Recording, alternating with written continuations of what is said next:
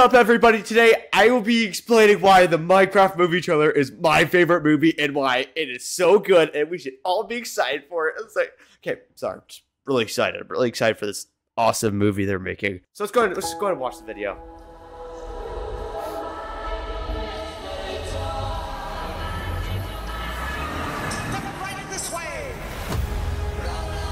Number one, the people. The gr- this green screen looks so good. Look how awesome the people look with the Minecraft realistic shader pack thing scenery. It looks it looks beautiful, okay?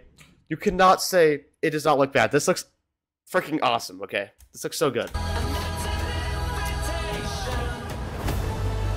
Again, the green screen looks so good in the Minecraft blocky world.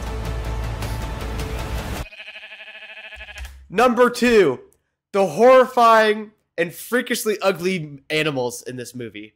They look so ugly that looks good. Like this looks AI generated and it makes me happy. Everybody loves AI generated things. Name one person who doesn't like anything AI generated. I, I bet you can't name anybody. Exactly. So uh, this this means it's good. It's good. It's good. Let's go and continue watching. What the hell?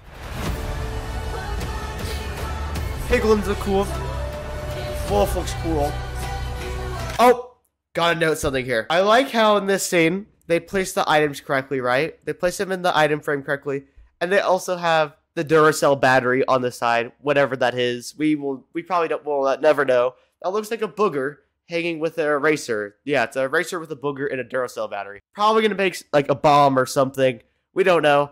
And then in the next shot right here, it is literally just a bunch of iron ingots and scrap and whatever, and like just randomly all placed on the tile. Like they didn't even care to put it in the slots. But that's what makes it so good. And that's what I love so much about it is how they just don't care at all.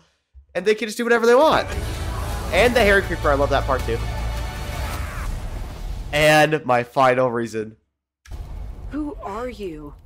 I am Steve. I love Steve. Steve looks so good in this. He looks Blackjack did an amazing job portraying Steve. He looks just like him. Look, he literally looks just like him. Steve. He looks just like Steve. See, look, he even did like that thing Steve does. Okay. This guy is such a tool bag.